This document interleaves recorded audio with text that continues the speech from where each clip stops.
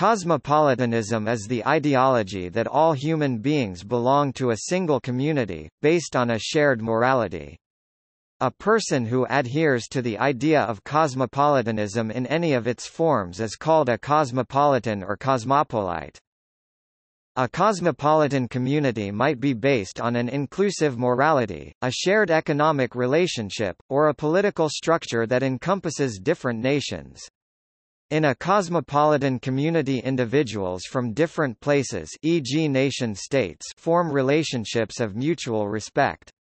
As an example, Kwame Anthony Appiah suggests the possibility of a cosmopolitan community in which individuals from varying locations physical, economic, etc. enter relationships of mutual respect despite their differing beliefs religious, political, etc. Various cities and locales, past or present, have been or are identified as cosmopolitan that does not necessarily mean that all or most of their inhabitants consciously embrace the above philosophy. Rather, locales may be called cosmopolitan simply because people of various ethnic, cultural and or religious background live in proximity and interact with each other.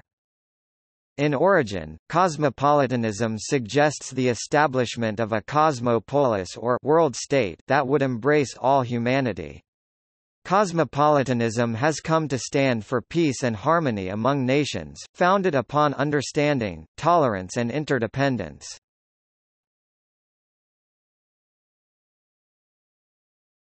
Topic: Etymology.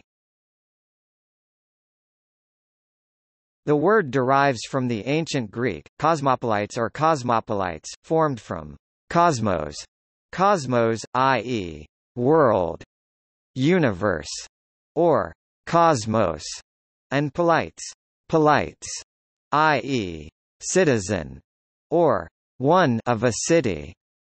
Contemporary usage defines the term as citizen of the world.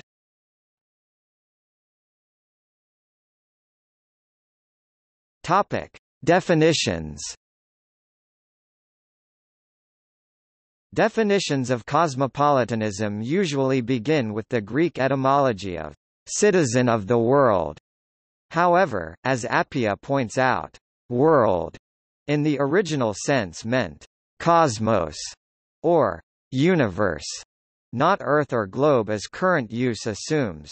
One definition that handles this issue is given in a recent book on political globalization, Cosmopolitanism can be defined as a global politics that, firstly, projects a sociality of common political engagement among all human beings across the globe, and, secondly, suggests that this sociality should be either ethically or organizationally privileged over other forms of sociality.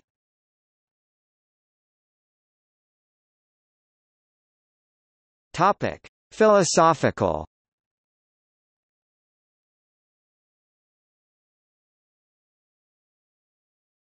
Topic: Philosophical roots. Cosmopolitanism can be traced back to Diogenes of Sinope c. 412 BC, the founding father of the Cynic movement in ancient Greece. Of Diogenes it is said, Asked where he came from, he answered, I am a citizen of the world cosmopolites.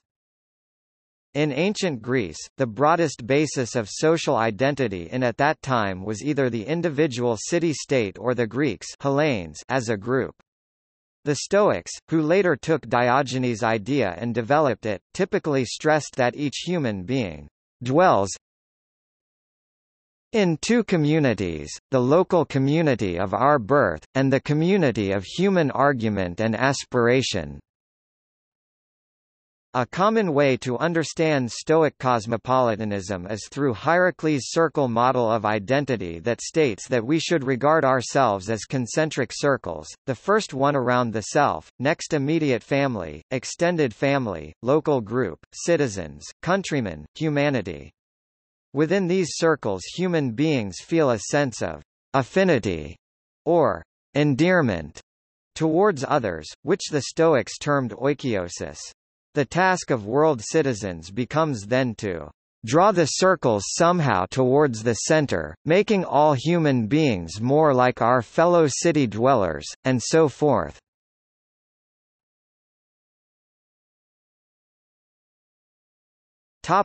Modern cosmopolitan thinkers In his 1795 essay Perpetual Peace, a philosophical sketch, Immanuel Kant stages a ius cosmopoliticum cosmopolitan law, right as a guiding principle to help global society achieve permanent, enduring peace. Kant's cosmopolitan right stems from an understanding of all human beings as equal members of a universal community. Cosmopolitan right thus works in tandem with international political rights, and the shared, universal right of humanity. 1. Kant's cosmopolitan right is fundamentally bound to the conditions of universal hospitality and the right of resort. Universal hospitality is defined as the right to be welcomed upon arrival in foreign territory, but is contingent on a guest arriving in a peaceful manner. Kant makes the additional claim that all human beings have the basic right of resort, the right to present oneself in a foreign land. The right of resort is derived from Kant's understanding of the Earth's surface as essentially communal, and further emphasizing his claims on equally shared universal rights among all human beings. 2. Taylor, Robert S. 2010.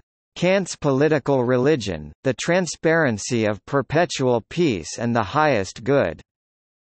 The Review of Politics, 72-1-24. Corradetti, Claudio November 2017. Constructivism in Cosmopolitan Law. Global Constitutionalism. 6 3, 412-441.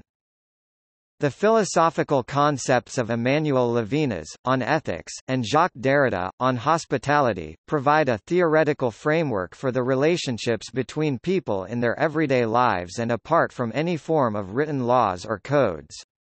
For Levinas, the foundation of ethics consists in the obligation to respond to the other. In Being for the Other, he writes that there is no universal moral law only the sense of responsibility, goodness, mercy, charity that the other, in a state of vulnerability, calls forth. The proximity of the other is an important part of Levinas's concept, the face of the other is what compels the response. For Derrida, the foundation of ethics is hospitality, the readiness and the inclination to welcome the other into one's home.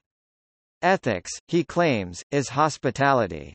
Pure, unconditional hospitality is a desire that underscores the conditional hospitality necessary in our relationships with others. Levinas's and Derrida's theories of ethics and hospitality hold out the possibility of an acceptance of the other as different but of equal standing. Isolation is not a feasible alternative in the world, therefore, it is important to consider how best to approach these interactions, and to determine what is at stake for ourselves and the others, what conditions of hospitality to impose, and whether or not we have responded to the call of the other.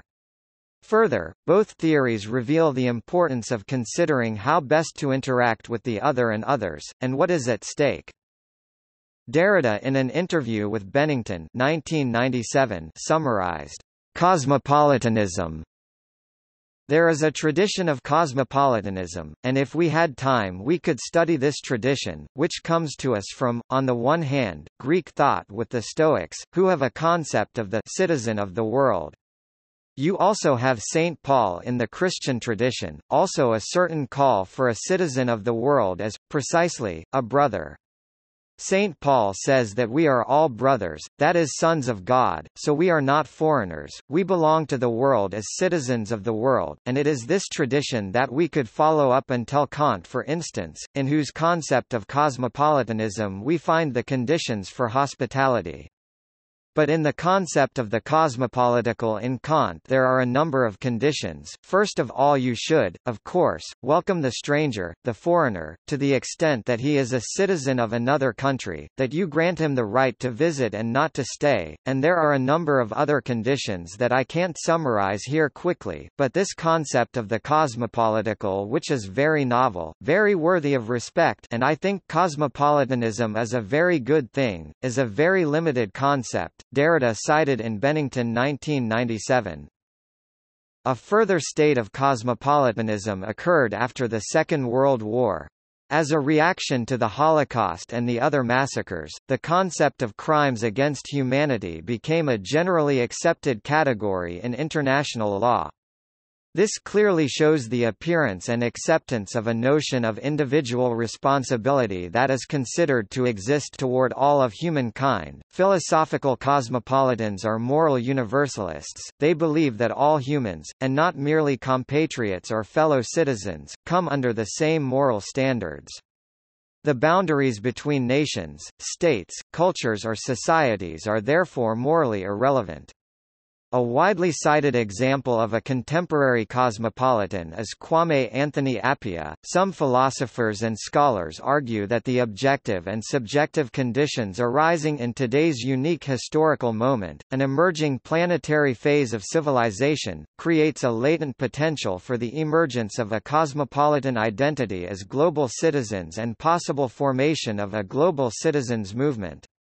These emerging objective and subjective conditions in the planetary phase include improved and affordable telecommunications, space travel and the first images of our fragile planet floating in the vastness of space, the emergence of global warming and other ecological threats to our collective existence, new global institutions such as the United Nations, World Trade Organization, or International Criminal Court, the rise of transnational corporations and integration of markets often termed economic globalization, the emergence of global NGOs and transnational social movements, such as the World Social Forum, and so on. Globalization, a more common term, typically refers more narrowly to the economic and trade relations and misses the broader cultural, social, political, environmental, demographic, values and knowledge transitions taking place.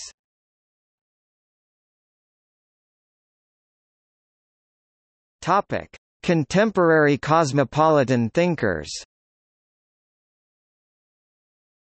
A number of contemporary theorists propose, directly and indirectly, various ways of becoming or being a cosmopolitan individual. Thich Nhat Hanh discusses what he calls interbeing as a way of living one's life in relation to others. Interbeing might easily be compared to cosmopolitanism. Nhat Hanh's philosophical beliefs are grounded in the precepts of Buddhist teachings, which involve compassion and understanding to protect and live in harmony with all people, animals, plants, and minerals. He further describes what he calls mindfulness training of the order of interbeing as being aware of sufferings created by, but not limited to, the following causes, fanaticism and intolerances that disrupt compassion and living in harmony with others, indoctrination of narrow-minded beliefs, imposition of views, anger, and miscommunication. Understanding and compassion for others seems to be achieved by the understanding of others' suffering and the root causes of suffering. Therefore, to be responsible is to recognize and understand suffering, which then leads to compassion. It is through this process that others can be recognized as people. Other theorists, philosophers, and activists contend that recognizing suffering is necessary to end violence. In Scared Sacred, Velcrow Ripper takes a journey to different sites of great suffering that ultimately leads him toward developing compassion. In the Planet. Paul Gilroy explores how the construction and naturalization of race and the hierarchies produced by difference shape the hatred of others. It is the deconstruction of these ideologies that can lead to the compassion and humanization of others. Thus individual responsibility is being aware of what Judith Butler calls the precariousness of life in self and other. Being a cosmopolitan seems to be, above all, a social, ethical enterprise. In Cosmopolitanism, Ethics in a World of Strangers, Kwame Anthony Appiah notices something important about how social ethics seem to operate, whatever obligation one might have to another, especially a foreign other, that obligation does not supersede the obligations one has to those people most familiar to them. However, as Judith Butler questions, at what cost do I establish the familiar as the criterion? For valuing others? If one values the familiar more than the foreign, what are the consequences? Paul Gilroy offers a possible alternative to this emphasis on familiarity arguing that methodical cultivation of a degree of estrangement from one's own culture and history might qualify as essential to a cosmopolitan commitment. This estrangement entails a process of exposure to otherness, in order to foster the irreducible value of diversity within sameness.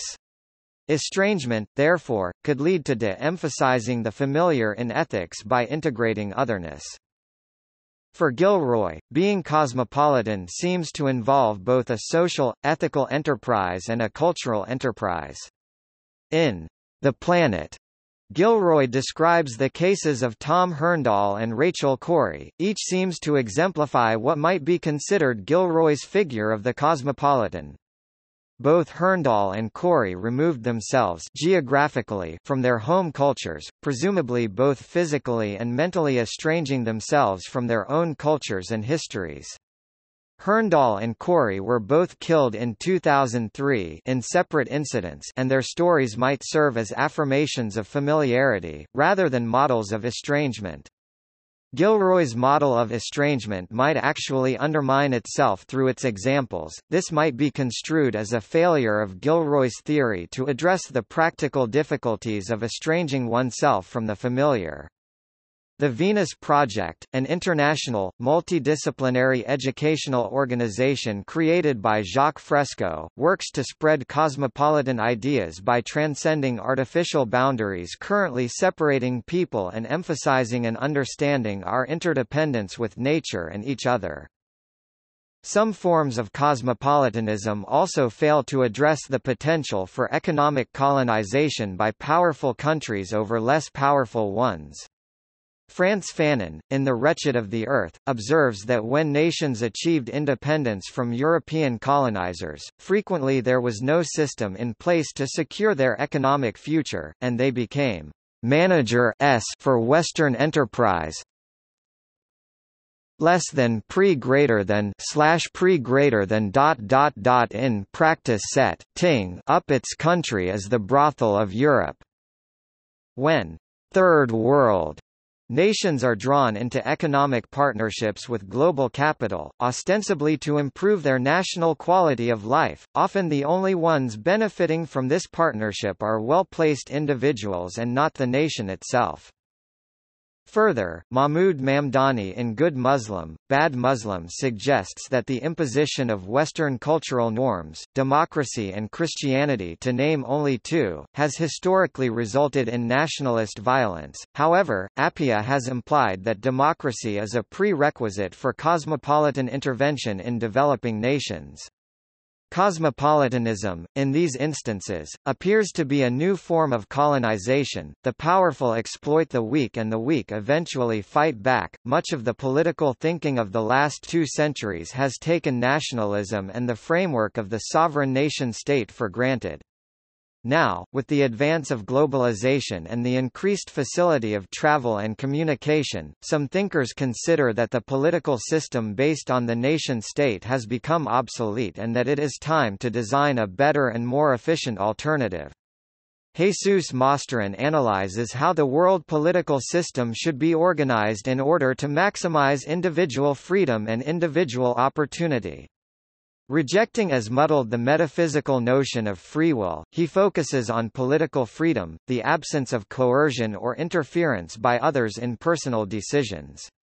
Because of the tendencies to violence and aggression that lurk in human nature, some constraint on freedom is necessary for peaceful and fruitful social interaction, but the more freedom we enjoy, the better, especially, there is no rational ground for curtailing the cultural freedoms of language, religion and customs in the name of the nation, the church, or the party. From this point of view, the Internet provides a much more attractive model than the nation-state. Neither is there any just reason for restraining the free circulation of people, ideas, or goods. Mosterin thinks that the nation-state is incompatible with the full development of freedom, whose blossoming requires the reorganization of the world political system along cosmopolitan lines. He proposes a world without sovereign nation-states, territorially organized in small autonomous but not sovereign cantonal polities, complemented by strong world organizations. He emphasizes the difference between international institutions, led by representatives of the national governments, and world or universal institutions, with clearly defined aims served by directors selected by their personal qualifications, independently of any national bias or proportion. Criticizing the abstract nature of most versions of cosmopolitanism, Charles Blattberg has argued that any viable cosmopolitanism must be rooted, by which he means based upon a global patriotism. More general philosophical reviews of cosmopolitanism and multiculturalism are also available. Carol Nicholson compares the John Searle's opposition to multiculturalism with Charles Taylor's celebration of it. She uses Richard Rorty as a triangulation point in that he remains neutral about multiculturalism, but his philosophical analysis of truth and practice can be deployed to argue against Searle and in favor of Taylor. At a conference on philosophy in a multicultural context, Rasmus Winther excavated the philosophical assumptions and practices connected with cosmopolitanism and multiculturalism. He develops Bruno Latour's conception of the philosopher as public diplomat.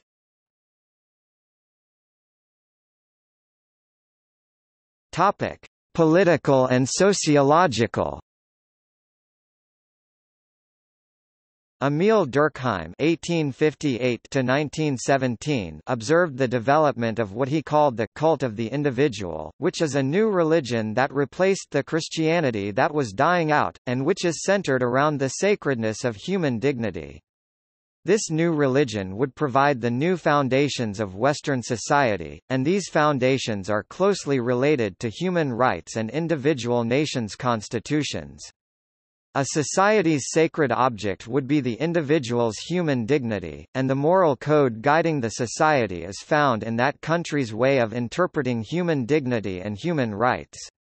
Thus, rather than finding solidarity through national culture, or a particular traditional religious doctrine, society would be unified by its adherence to political values, i.e. individual rights and a defense of human dignity. Durkheim's cult of the individual has many similarities to John Rawls' political liberalism, which Rawls developed almost a century after Durkheim. Ulrich Beck (May 15, 1944 to January 1, 2015) was a sociologist who posed the new concept of cosmopolitan critical theory in direct opposition to traditional nation-state politics. Nation-state theory sees power relations only among different state actors, and excludes a global economy, or subjugates it to the nation-state model. Cosmopolitanism sees global capital as a possible threat to the nation-state and places it within a meta-power game in which global capital, states and civil society are its players. It is important to mark a distinction between Beck's cosmopolitanism and the idea of a world state.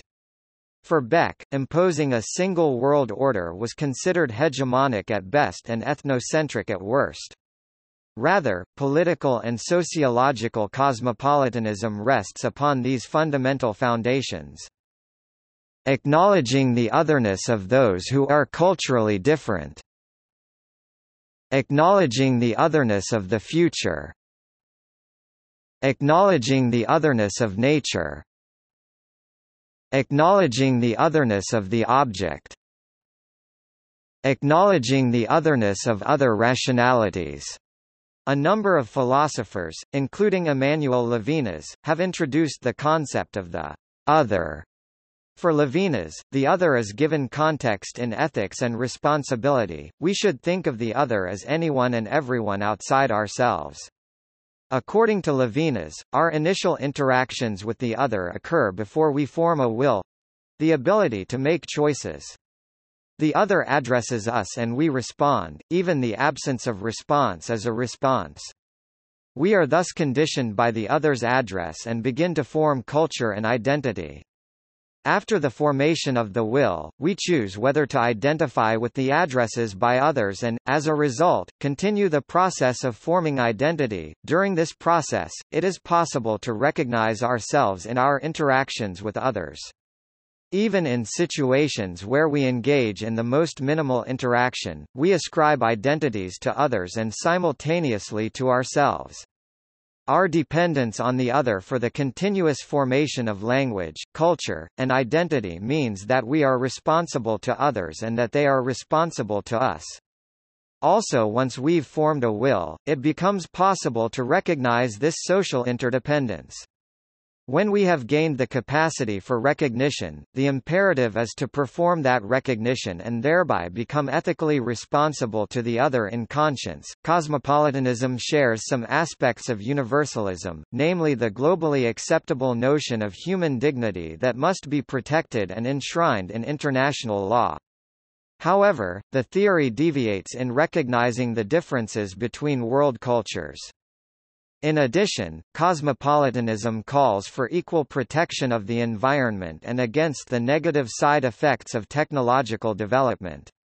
Human dignity, however, is convoluted because it is necessary to first distinguish who has the right to be respected and second to consider what rights are protectable. Under cosmopolitanism, all humans have rights, however, history shows that recognition of these rights is not guaranteed. As an example, Judith Butler discusses a Western discourse of human in precarious life, the powers of mourning and violence.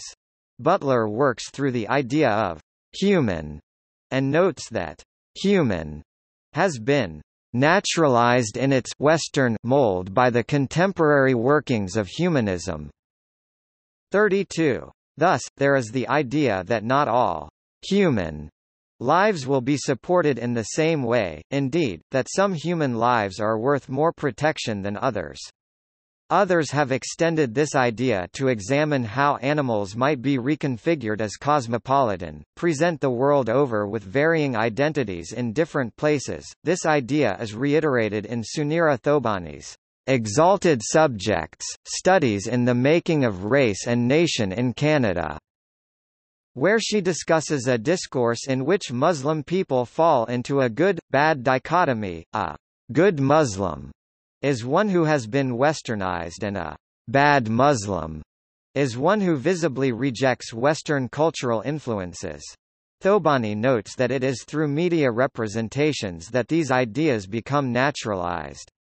Individuals who embrace Western ideals are considered fully human and are more likely to be afforded dignity and protection than those who defend their non-westernized cultural identities. According to those who follow Beck's reasoning, a cosmopolitan world would consist of a plurality of states, which would use global and regional consensus to gain greater bargaining power against opponents. States would also utilize the power of civil society actors such as non-governmental organizations (NGOs) and consumers to strengthen their legitimacy and enlist the help of investors to pursue a cosmopolitan agenda. Other authors imagine a cosmopolitan world moving beyond today's conception of nation-states. These scholars argue that a truly cosmopolitan identity of global citizen will take hold, diminishing the importance of national identities. The formation of a global citizens movement would lead to the establishment of democratic global institutions, creating the space for global political discourse and decisions, would in turn reinforce the notion of citizenship at a global level. Nested structures of governance balancing the principles of irreducibility i.e., the notion that certain problems can only be addressed at the global level, such as global warming and subsidiarity i.e., the notion that decisions should be made at as local a level possible would thus form the basis for a cosmopolitan political order. Daniele Archibugi proposes a renewed model for global citizenship, institutional cosmopolitanism. It advocates some reforms in global governance to allow world citizens to take more directly a part into political life.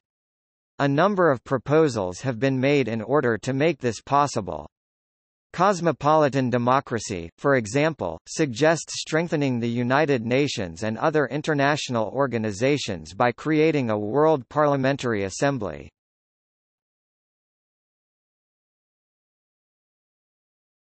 Topic: Political rhetoric Cosmopolitanism became a rhetorical weapon used by nationalists against alien ideas that went counter to orthodoxy. European Jews were frequently accused of being rootless cosmopolitans Joseph Stalin in a 1946 Moscow speech attacked writings in which the positive Soviet hero is derided and inferior before all things foreign and cosmopolitanism that we all fought against from the time of Lenin, characteristic of the political leftovers, is many times applauded. In the 21st century the epithet became a weapon used by Vladimir Putin in Russia, and by nationalists in Hungary and Poland. In modern times, Stephen Miller, a Trump administration senior policy advisor, has publicly criticized CNN reporter Jim Acosta as exhibiting cosmopolitan bias during a discussion on the government's new immigration plan.